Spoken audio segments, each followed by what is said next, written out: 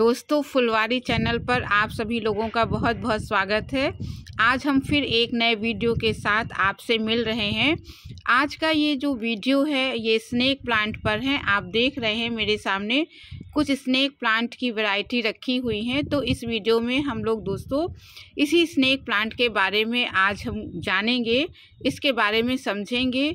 तो वैसे तो स्नैक प्लांट की कई वैरायटी होती है, पचासों वैरायटी स्नैक प्लांट की मिलती हैं, लेकिन दोस्तों मेरे पास इस समय केवल तीन ही वैरायटी है। आपको मैं दिखाती हूँ, देखिए एक ये वैरायटी है, ये इसके जो स्नेक प्लांट है, इस थोड़ा लंबा होता है प्लांट और ये अगर अच्छा सा गमला दे दिया जाए तो दो ढाई फुट तक भी ये ऊँचाई ले लेता है और अगर ज़मीन में लगाते हैं तो थोड़ा और अधिक ऊँचा हो जाता है। तो इसको स्नेक प्लांट इसलिए कहा जाता है। अगर आप ध्यान दीजिए तो इसकी जो स्टेम है, ये देखिए, इसका जो ऊपर का हिस्सा है, वो सांप के फन की तरह से देखिए आपको दिखाई दे रहा है। तो इसीलिए इसको स्नेक प्लांट कहा जाता है। और जैसे उसके शरीर पे कुछ चितकबरे बने रहते हैं, डिज़ाइन जैसी बनी रहती है तो कुछ इसकी पत्तियों में भी दोस्तों वैसी ही डिज़ाइन पाई जाती है, इसीलिए इसको स्नेक प्लांट के रूप में भी जाना जाता है। और दूसरी वैरायटी अगर मैं आपको दिखाऊँ तो देखिए वो उससे थोड़ा सा छोटा है, और इसकी पत्तियों का जो डिज़ाइन है, देखिए उससे थोड़ा सा अलग है, हट के है। इस वाले में देखिए किनारे किनारे आपको बहुत अच्छे बीच में डिज़ाइन है, हरे रंग में और किनारे येलो इसकी आउटलाइन बनी हुई है, हर पत्ती की। लेकिन अगर इस वैरायटी में देखिए तो इसमें येलो आउटलाइन आपको नहीं मिलेगी और इसका जो बीच का भी डिज़ाइन है, वो थोड़ा सा अलग है। एक जो तीसरी वैरायटी मेरे पास है, देखिए, ये मेरा प्लांट है। ये बहुत ही छोटे डिज़ाइन इसके होते हैं। इसकी भी डिज़ाइन देखिए थोड़ी सी अलग है। और इसके बाद जो है, इसमें अगर आप बहुत ध्यान से देखेंगे तो वो एक फूल की तरह, एक जो पौधा है, बिल्कुल फूल की तरह दिखाई देता है। एक पौधा अपने आप में ही एक अलग है और उसमें एक, अगर अलग से आप लगा देंगे तो फ्लावर का भी ये लुक देता है। तो ये मुझे बहुत अच्छा लगता है। बहुत ही ये बढ़िया प्लांट है।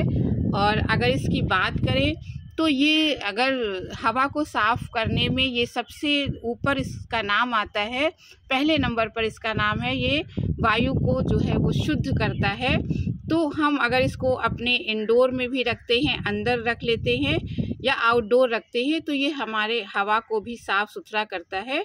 तो ये पौधा लगाना बहुत अच्छा रहता है घर में। आप भी इस पौधे को लगाइए। अगर इसके पानी की रिक्वायरमेंट हम लोग देखें तो दोस्तों इसको बहुत ही कम पानी की ज़रूरत होती है। बिल्कुल नाम मात्र के पानी की ज़रूरत होती है। आप इसे हफ्तों पानी ना दीजिए, हफ़्ता दस दिन आप बिल्कुल इसमें पानी ना डालिए तो इस पौधे पर कोई फ़र्क नहीं पड़ता है। और ये आराम से चलते चले जाते हैं। मैं आपको दिखाऊँ, मेरा ये देखिए, एक पौधा है जो ये पौधा मेरा गमले में लगा हुआ था और गमला टूट गया था। किसी कारण से तो मेरा धक्का लगने से टूटा था। तो इसको मैं फिर दूसरा पॉट नहीं दे पाई और ऐसे ही मिट्टी सहित पॉलीथीन में देखिए भर के रख दिया और पॉलीथीन भी हर जगह से ये फट चुकी है। पूरी बेकार हो गई है। डेढ़ महीने से ये मेरा ऐसे पॉलीथीन में रखा है। क्योंकि पॉलीथीन में फिर मैं इसको सींच भी नहीं पाई, इसमें अब देखा तो बहुत सारी ये फट गई है। तो डेढ़ महीने से देखिए लगातार ऐसे ही रखा है और इसके स्टिक देखिए अभी भी बहुत ही मज़बूत है। बिल्कुल जैसे ही ये निकला था उसी तरह है, इसमें कोई असर नहीं हुआ है। तो कहने का मतलब ये है कि अगर इसको आप पानी नहीं देते हैं बहुत दिनों तक तो ये महीने भर भी आराम से चल जाएगा। और इसमें एक चीज़ करनी ज़रूरी होती है, क्योंकि इसके जो नए नए शूट्स हैं इस पौधे से हमेशा निकलते रहते हैं। तो पौधा हमेशा गमले को भर देता है। रूट बाउंडिंग इसमें बहुत जल्दी हो जाती है। तो आप थोड़े थोड़े दिनों पे छः छः महीने पर आप इसके कुछ स्टिक्स को ज़रूर निकाल दीजिए गमले से।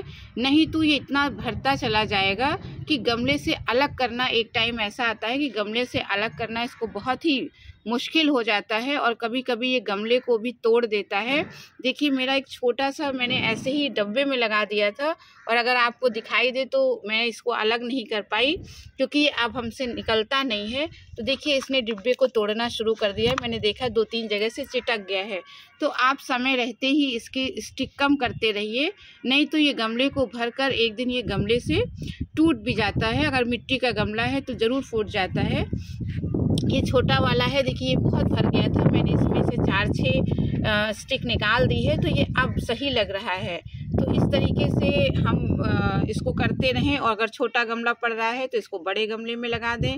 पानी की ज़रूरत नहीं है, धूप में इसको थोड़ा बचाना रहता है। बहुत अगर आप तेज़ धूप में इसको रख देंगे तो इसकी जो ब्राइटनेस है, जो पत्तियों की चमक है, वो कम हो जाती है, फीकी पड़ जाती है।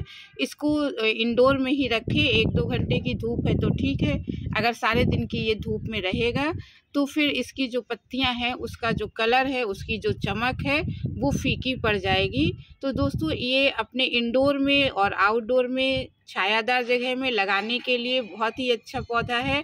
आप इसे कमरे में, ऑफ़िस में कहीं भी लगा सकते हैं और ये हवा को भी साफ़ सुथरा रखता है। तो इस तरह के पौधे हमें ज़्यादा से ज़्यादा लगाना चाहिए। तो आप भी ऐसे पौधे को, स्नेक प्लांट को अपने घर में ज़रूर जगह दीजिए। और अब इस वीडियो को यहीं समाप्त करती हूँ। अच्छा लगा हो तो सब्सक्राइब करिएगा। अब अगले वीडियो में फिर किसी नए टॉपिक के साथ मिलेंगे। तब तक के लिए धन्यवाद।